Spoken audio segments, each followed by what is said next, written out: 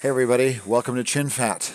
Uh, at some point you're probably going to see an image like this on your computer if you've been editing in Premiere. And if you've ever seen this before, I call it the multilingual, uh, the multilingual, what is it? I call it the multilingual page that uh, nobody really understands, and maybe even this seems like a foreign name to you. Media offline. What does media offline mean? This is when you uh, when, when your footage gets disconnected from your project. To talk a little bit how projects first work. First of all, one thing that you've got to understand. One thing you've got to understand is that a project file is just basically this. Here's this project that I've opened up.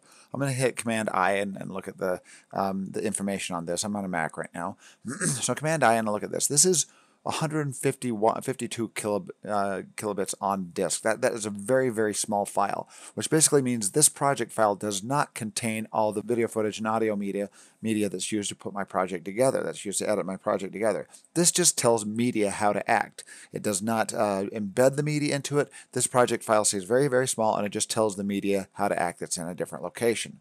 So, so once in a while, if, if your media is offline, that means this project cannot find the media. It cannot find the video media or the audio media or anything, any sort of media that I have in this timeline. It doesn't know where it's at, so it brings up this message, message and tells me that everything has been disconnected here. And that's what media offline means. Is it means it cannot find it. It doesn't know where it's at. So there's a few ways of reconnecting uh, connecting it. First of all, if you're in this uh, if you're in this screen right now, you probably you should not have gone past uh, that first offline. Uh, you should not have gone past that first message that's asking to locate your media.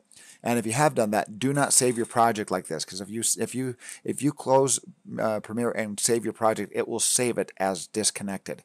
So be careful. If you I would say close it Close Premiere completely. Do not save your project. Watch this. See, I do Command Q to quit or Control Q to quit on a PC. Ask you, you want to save your project? Say no. You don't want to save it or it will remain disconnected. And then what you have to do is you have to go through, dig through all your folders and reconnect all your folders individually. So let's show you how to do that first of all. So uh, I've got media here and a little bit here that is disconnected. Uh, and you got this little question mark that goes through these showing that it doesn't know where this media is. Still has all the same attributes for the media, it just doesn't know where it's at.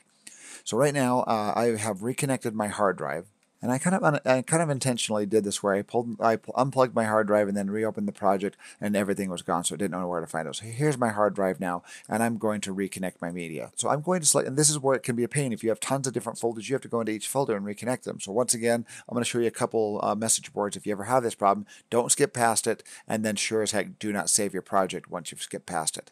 So I'm going to select all this media here. I'm going to uh, select the first one, hold down Shift, collect, uh, and click on the bottom one, select it all, and I can right click and say and I can say link media right here. So we're going to link this back to the original media. And it's going to show you the original space. It's going to show you the original location that it found this media. And this found it under my volumes. I have a hard drive connect. That this is the volumes are hard drives that you've got connected on a Mac. It says that I was on this hard drive called Things, and then in a folder called Sheeprock, and in a folder called Original. So I'm just going to select one of these files. You'll notice down here it has this check marked relink others automatically. That's important to have that turned on, and as well as file name and file extension. This is so you'll come in here and change these for different reasons if you're reconnecting proxies sometimes. But in this instance, you leave file name, file extension check checkmarked, and relink other others automatically is the most important one here to relink. So I'm going to look for just one of these files. You can tell it which one to look for. I'm going to say look for DGI 0001.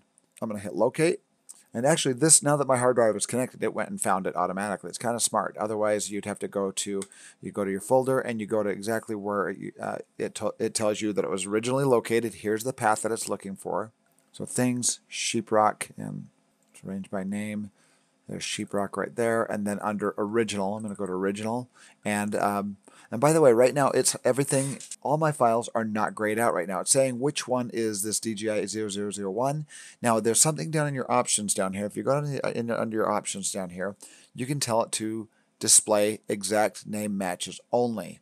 That's the, usually I leave this on by default, and it grays everything else out, and then it only highlights one that uh, that matches the name. It, only, it says only one file in here matches the name, so I'm going to select that, hit open, and look what it does. It just reconnected all my media, and that media has been restored.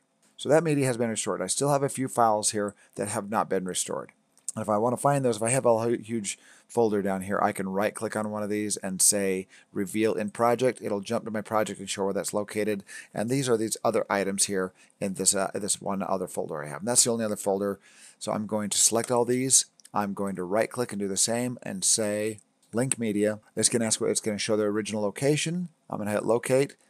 It jumps to that uh, location because it can find it now, and that's fine. So I'm going to select uh, this JPEG it's looking for right there. I've got under options display only uh, exact name matches. I'm going to select the one that it will let me select, hit open, and my project has been restored.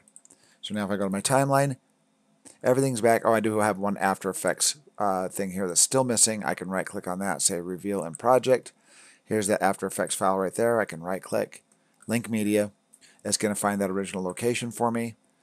There it is right there, Sheeprock title A A AEP right there. It reconnects. Now my whole project's back to normal here. But that took a few steps because I had to dig through some folders. So I'm going to close this. So I'm going to close this project and I'm going to have a project disconnected from the media again and I'm going to show you a different method here. I'm going to start Premiere from the start. I'm going to turn. I'm going to unplug my disconnect my hard drive here so it can't, doesn't know where it's at, and I'm going to start Premiere.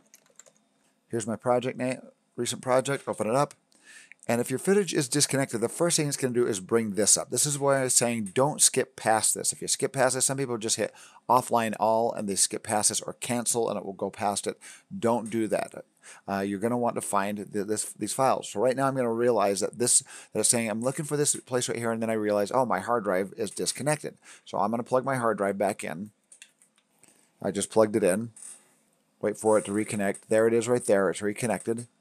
So now my file is reconnected. Now I can go back to my project file. I could even just shut this down completely, Premiere down completely, and restart the project and it will find it. But let's show you how to manually find it from here. I'm going to hit, I'm going to select one of these files here and I'm going to tell it to locate. Now I'm going to go to my hard drive, go to the original folder location. It's looking under Sheeprock original there. It's giving me the path and here's that original file. I'm going to select that, hit open, and it will find everything else in the list here because it's it's looking in that relative folder location and it's going to find all that original media and reconnect it.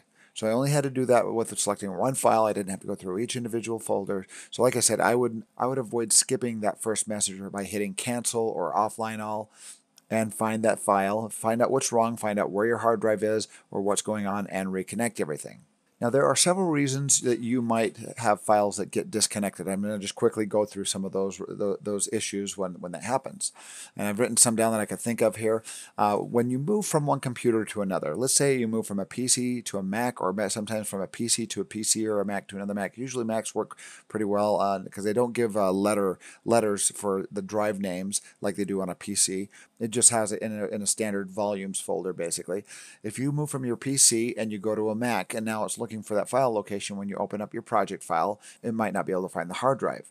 Another thing is your hard drive might get disconnected while you're working on it, and suddenly while you're editing, it gets unplugged, and all of a sudden all those offline names come up.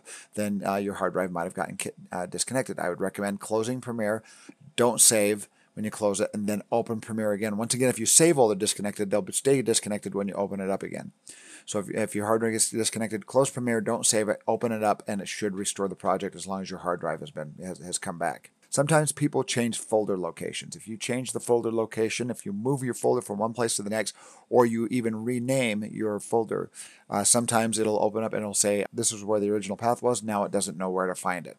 Premiere sometimes pretty smart. It'll sometimes search an entire hard drive and, and find the media, but if it's not named the same name, and if you have files that are the same name, it might reconnect it to different files that it doesn't belong to that, that wasn't intended to be reconnected to. Like if you're working on a mirrorless or DSLR camera and it names your files every time you turn your camera on and off and you start recording new footage on a new card, it might record, it might have the same naming structure like C0001, then C0002 for the next clip, and then when you take that card out, put a new card in, it could it'll it, if it's a Sony camera, it starts naming the files the, the same uh, the, sa- the same way and you got to be careful about those as well. This will also happen if you change the name of the original files when you've already started editing. If you're going to change the name of the original files, do it before you import it into Premiere, and then don't ever change the names again, or it will disconnect the original files, and that can cause a huge mess. And then the last one here, uh, and there are probably some others that I'm missing, but you have deleted some or all of your files. Like sometimes people get through, or they'll be downloading music files into their uh, into their downloads folder, and then sometimes they purge their downloads folder and don't realize they just got rid of all the music they were using in Premiere.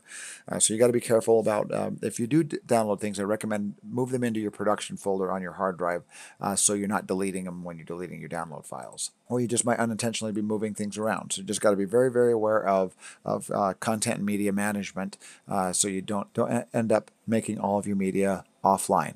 I hope this helps. If you have any questions, please let me know. But that is basically how to reconnect footage if your footage gets uh, moved or disconnected or, or, moved to another hard drive.